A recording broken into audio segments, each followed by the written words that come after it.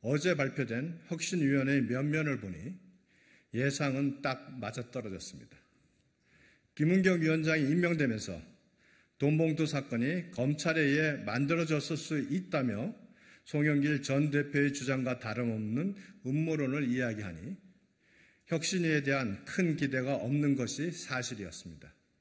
하지만 지난 대선 당시 이재명 대표 지지를 선언하며 애국을 갖다 붙였던 인물부터 이 대표의 대선 후보 등록 대리인과 제주 선대위 본부장에 팬덤은 죄가 없다.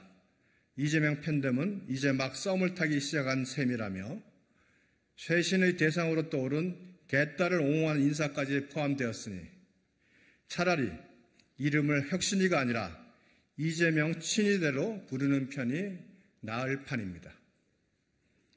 민주당이 좌표 찍기, 문자 폭탄을 일삼는 강성 지지층에 휘둘리지 않고 상식에 맞는 정당으로 돌아오길 바라는 국민들의 기대는 이미 시작도 되기 전에 무너졌습니다. 김 위원장은 한술 더 떠 이 대표의 사법 리스크를 두고 민주당의 제도적 쇄신, 혁신 과제와 사법 리스크는 무관한 분야라고 하며 위기의 원인을 못 본 척하고 가죽을 벗기고 뼈를 깎는 노력을 통해 민주당을 윤리정당으로 거듭나게, 거듭나게 하겠다고 하니 김 위원장의 혁신을 믿을 사람이 누가 있겠습니까? 당내 분열을 조장하지 말라는 김 위원장의 일성도 그저 이 대표를 결사옹위해야 하니 비명계는 아무 불만도 말하지 말라는 엄포로만 들릴 뿐입니다. 이재명 대표의 옹호 선본장인 정청래 최고위원이 충격적인 인사라고 한 말은 기대 이상으로 혁신위를 친명계로 가득 채워서 충격적이라는 것이고 승리의 환호성을 지른 것이 아닙니까?